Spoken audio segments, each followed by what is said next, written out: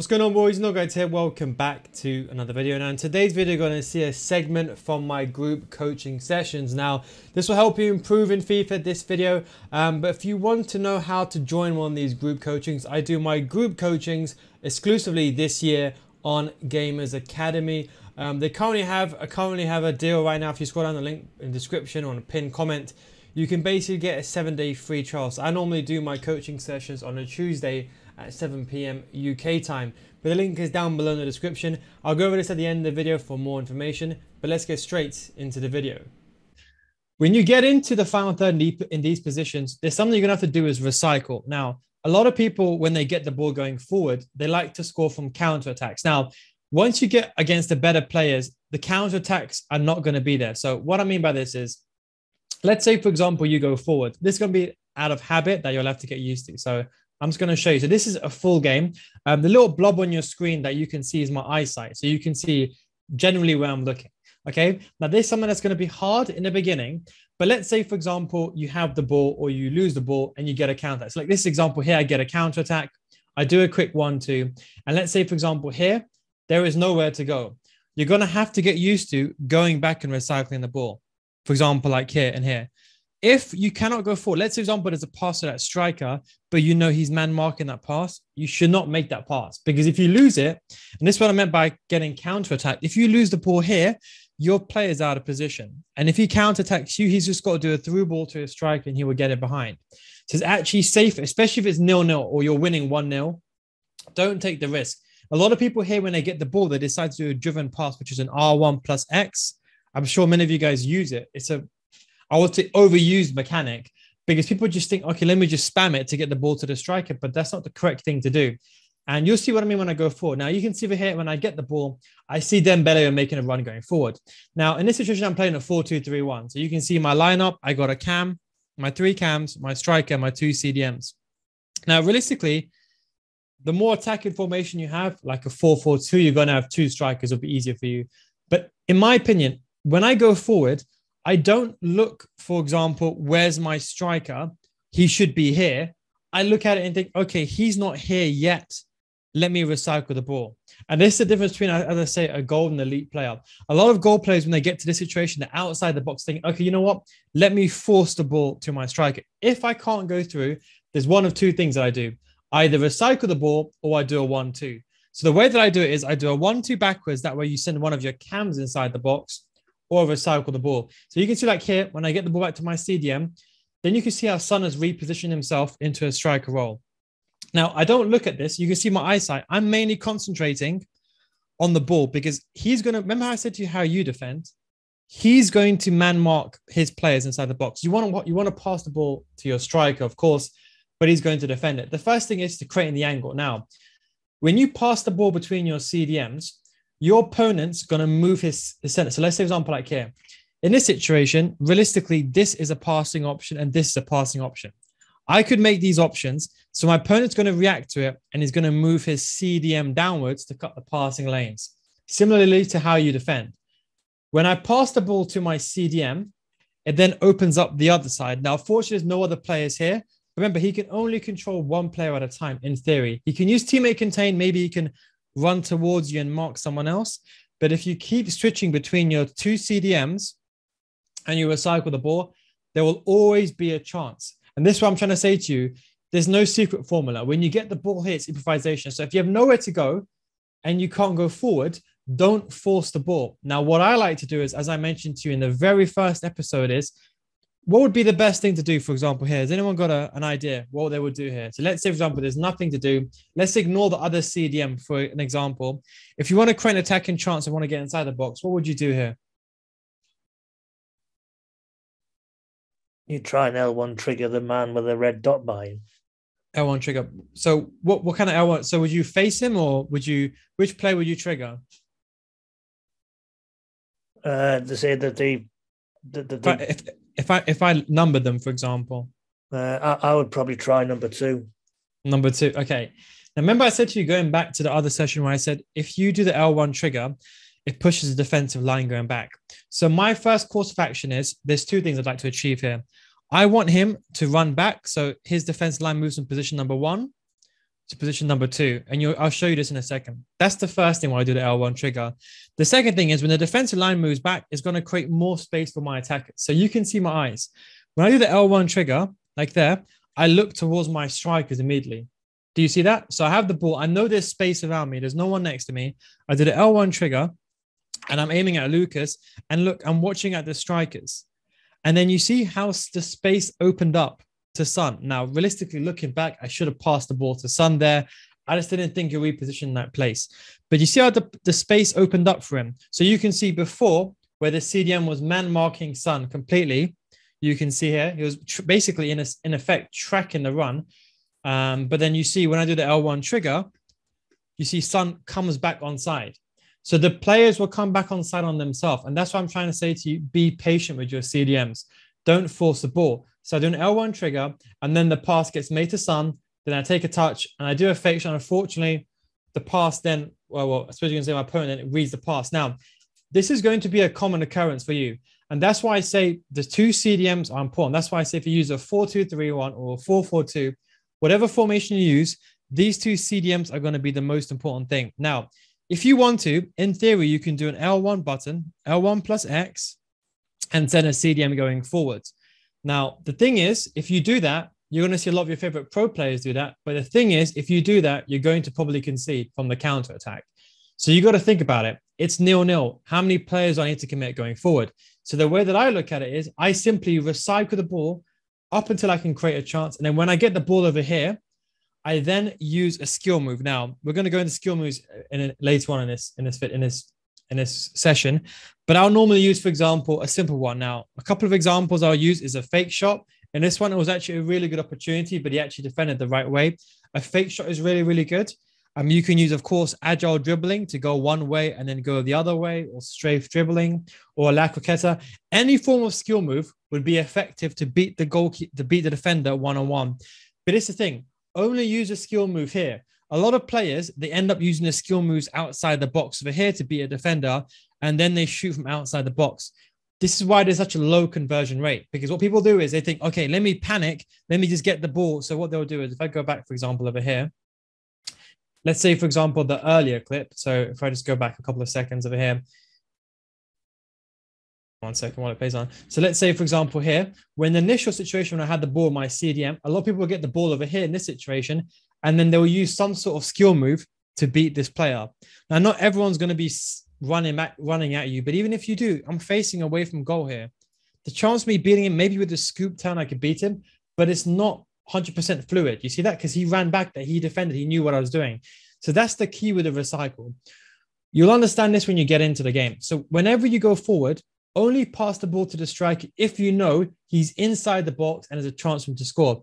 That's the initial theory. And that way, when you create the when you create the pass, for example, like here, then you take the risk with a skill move. In fact, it should have probably been a penalty. I mean, to be honest, I actually beat him over there, but it, it should have been a penalty.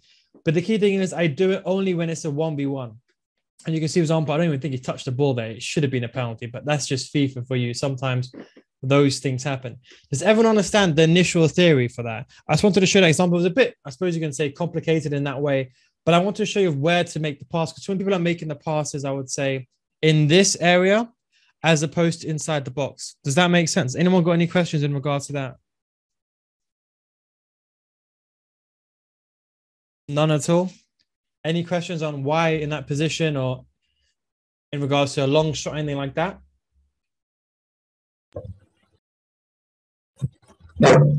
Okay, no, okay. So that that's the first segment. Okay, and this is something to bear in mind. So I'm gonna let this game play on. So you can see, for example, like here, um, I ended up winning the ball back. It's the exact same thing. Now watch this here. Remember, I said you do the first sample, do a one two. Okay, I do the exact same thing. I refresh the ball to my CDM. I get the ball with Dembele. In this situation, can I go forward? Yes, I could probably go down the wing. Now this is what's gonna be the the confusing part, right? When do you go forward and when do you not? It's all about improvisation. Realistically, as I said to you, Son's not in position, so I recycle the ball. And if I can't get through, I use the two CDMs like that. An example, use the L1 trigger, get the ball to the striker. That's the first step. So you can see every single time I get the ball back. So you see when I win the ball back here and I get a bit lucky. Do you know why I ended up getting this chance and scoring this goal? It's not because I played this very, very well. It's because why? He made a mistake. And this is what I want to say to you is most of your goals that you can see will be from the mistakes like this. You'll get the ball, for example, like here. You won't see your opponent running towards you. You'll lose the ball. And for example, like here, see how easy I scored there? It's from a mistake. I didn't play anything good here. All I did literally was I get I get the ball to Son. Now you see here, again, it's the understanding. A lot of players here will decide to run inside the box. Now, whenever you whenever you get the ball inside the box with your striker, think of it like, okay, can I shoot from this far out? That's the logic. So if you could, if you get the ball, for example, with Son over here, let's say you beat this defender somehow. If it's a one v one, if you shoot from this far out, what's the chance of you scoring? It's relatively low from this area. Yes, you can argue you can do a finesse shot, but logic will always tell you maybe finishing is not the best this year, but logic will always tell you it's too far away. So you have to get closer to the to the goal. How do you do that? Well, if your opponent has, if you have the ball with your CDMs, the L1 trigger is one way.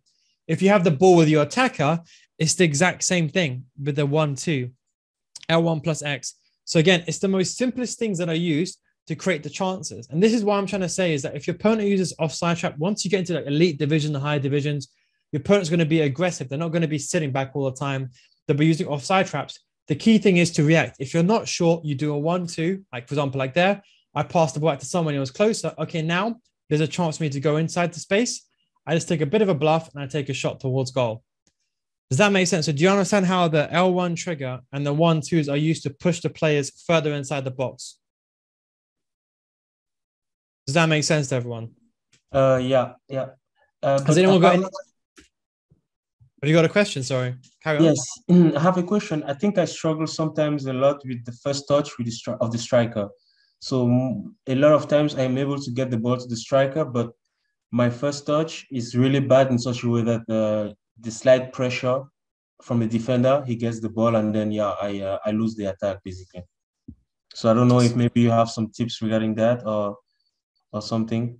But this is a common thing as well, losing the ball. It kind of goes back to, and this is why the, the, the first 15 minutes of this of this session is going to be the most important. If you remember one thing, remember the first 15 minutes.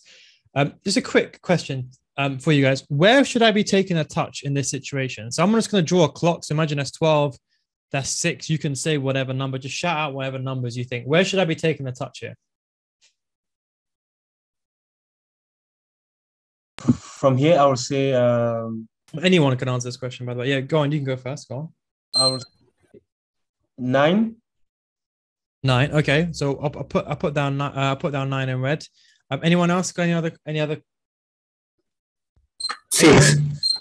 Six. Okay, we'll put six down. Anyone else? I think I'd probably go for nine as well, even though it's probably not the right thing to do. Okay, nine. So we have two on nine, one on six. Anyone else? Okay. Now, in this situation, all the answers with respect are right to some extent, but are wrong. And what I mean by that is you have to protect the ball first. Remember, I said you the example. If let's say if, if you take a touch, let's say backwards, right? So let's say, example, like here, you take a touch backwards here. Yeah? He's literally just going to run into you. Remember, I said, remember going back to two sessions ago, I talked about defending, right? You're running jock, you're defending the angle towards goal. If someone touches the ball and faces towards you, you can literally just run into them and get the ball. So you have to protect the ball going first. So I would always take a touch on this side. And you're going to say to me, why would you do that? Are you why would you not go forward when there's a chance for you to go forward? And then I go back to the original theory. If I can't score from this angle, what is the point? Maybe I can try to okay, maybe on a very high level. I'll show you some examples in a second. I can do left stick dribbling and try to dribble past that player and get past him okay, maybe on the high level I can do that. But if I can't go through and if I if I just do a skill move, I'm just going to run into two players over here. It's no point. And even if I do beat him, let's say I beat one of these guys, can I shoot from this? Let's say, for example, he comes towards me, and let's say I beat him over there. Okay, let's say in theory I beat him. If he makes a mistake, you can still run back and cover the angle and track back. Then I have to beat the goalkeeper from an off angle. Can I score from here?